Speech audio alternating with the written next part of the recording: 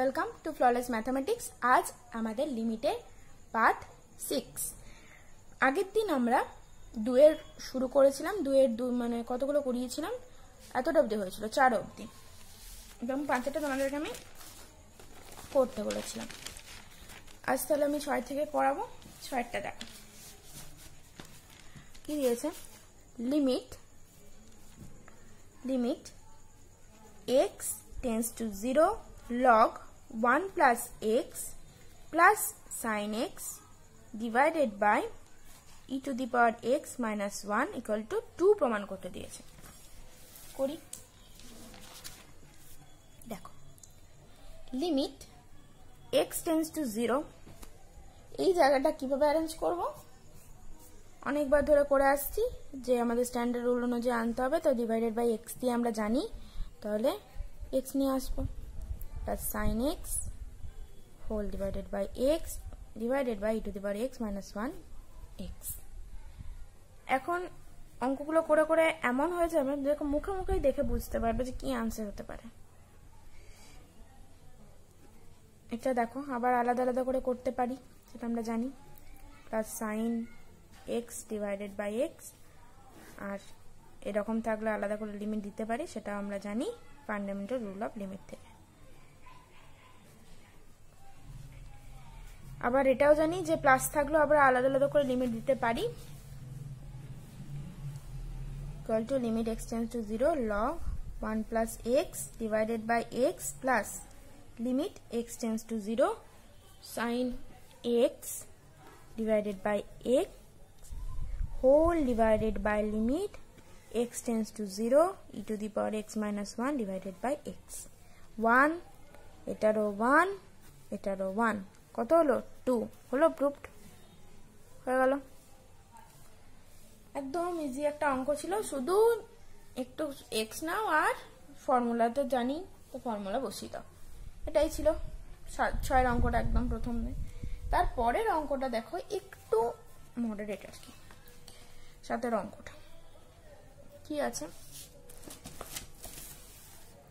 দেখো। Limit x tends to zero log cos x, limit x tends to 0 দ্বারা লিখে নি log cos x divided by sin square x equal to minus half প্রমাণ করতে দিয়েছে। আচ্ছা দেখে একটু কেমন একটা খচমচো, না? দেখতে। আচ্ছা দেখো, কীভাবে হবে। প্রথমে আমরা কি করব? এটাতে একটু সূত্র কাজে লাগবে। লিমিটের নয়, একটু আগের সূত্র কাজে লাগবে। করলে বুঝতে পারবে প্রথমে আমরা টু নিয়ে আসব ওপর নিচে। টু। নিয়ে এলাম। নিচে কত হলো? Two sine square x. এরপর আমরা জানি যে লগ যদি থাকে, এরকম আর যদি এইদিকে কোনো নিউমেরিক্যাল থাকছে সেটা আমরা কি জানি? যে পাওয়ারে চলে যায়। তাই তো? এগুলো আগেই আমরা ছোটতে পড়েছি। তাহলে limit x tends to zero log এখানে কি করতে পারি আমরা? Cos square x divided by two sine square x এবার আমরা জানি কস স্কোয়ার এক্স কি করতে পারি? One minus sine square x তাই তো? তাহলে limit x tends to zero log এখানে আমরা কস স্কোয়ারের জায়গায় কি লিখতে পারি? One minus sine square x আর নিচে কি? না টু সাইন স্কোয়ার এক্স এরপর, ব্যাস, এইটুকুই। আমি যেটা বললাম, আগের সূত্র লাগবে মানে কোনটা বলতে চাইলাম?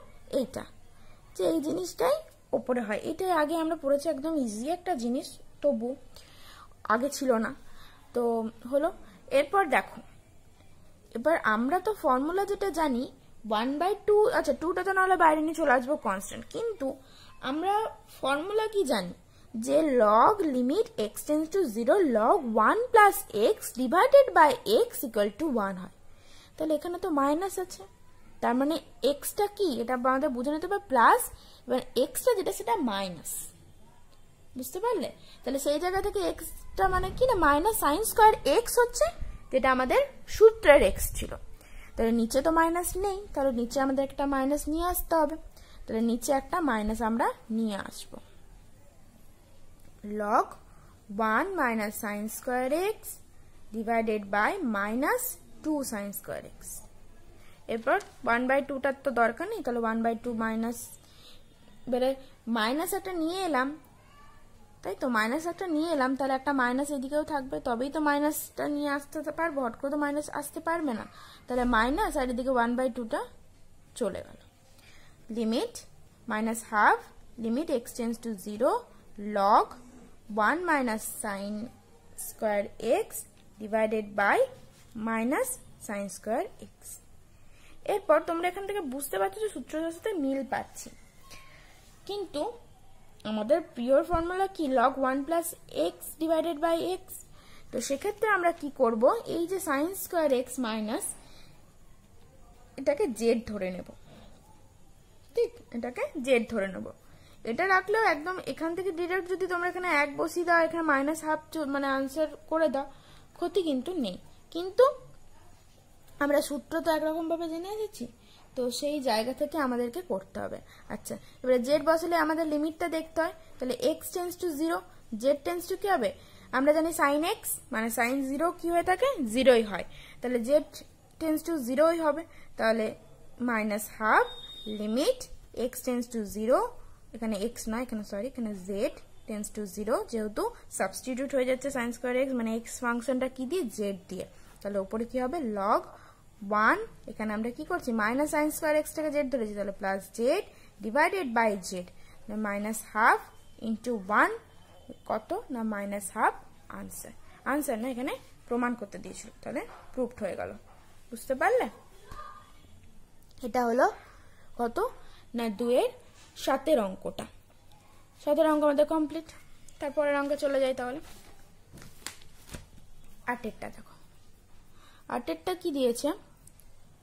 Limit h tends to zero limit h tends to zero log x plus h minus log x divided by h equal to one by x limit h tends to zero log x plus h minus log x divided by h equal to 1 by x prove করতে দিয়েছে। প্রথমেই আমরা আগের অঙ্কগুলোতেও আমরা করলাম এই আছে নয়, এর আগের ভিডিওর যে অঙ্কগুলো করেছি আমি, সেখানে এইটা কাজে লেগেছে কি যে এটা কি হয়ে থাকে মাইনাসে থাকলে বাই হয়ে যায়। বাই হয়ে গেল sorry x divided by h আবার আরেকটা অঙ্ক আমি তোমাদের বুঝিয়েছিলাম। আগের ভিডিওতে আছে মেবি সেই অঙ্কটা।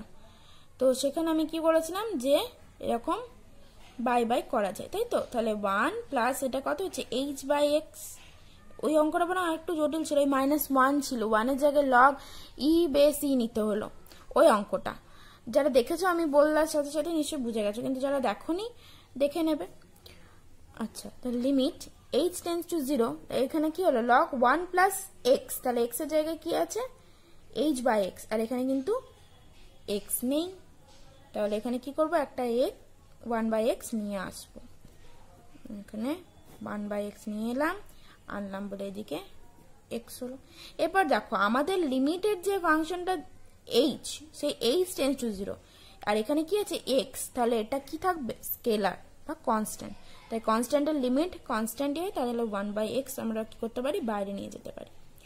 বুঝতে পারল? অন্য সময় এক্সটা যদি এখানে ভ্যারি করে এক্স টেন্স টু জিরো মানে এক্সের ওপর লিমিটটা থাকে এক্সটা যদি সেই ফাংশন হয়, তাহলে কিন্তু নিয়ে যেতে পারব না। কিন্তু এখানে ছিল এইচ এইচ এর ওপর লিমিটটা মানে বেস করেছে। তাহলে এখানে ওয়ান বাই এক্স এখানে কিন্তু আমরা নিয়ে যেতে পারি। কারণ সেক্ষেত্রে এখানে যদি এইচ টেন্স টু জিরো তাহলে ওয়ান বাই এক্স কিন্তু কনস্ট্যান্ট বোঝাতে পারলাম?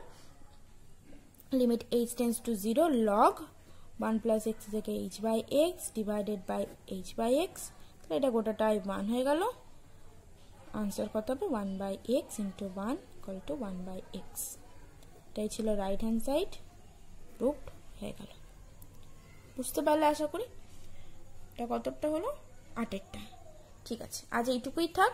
ততক্ষণ অবধি যতগুলো অঙ্ক করিয়েছি, প্রথম থেকে ভিডিওগুলো দেখো। ভালো করে মনে মানে মনে রাখতে পারো ভালো করে প্র্যাকটিস করো। ধরে ধরে প্র্যাকটিস করো। অনেক টাইম আছে এখনও, খুব ভালো একটা রেজাল্ট হবে। হুম অঙ্কে ওকে আচ্ছা এইটুকুই থাক, টাটা।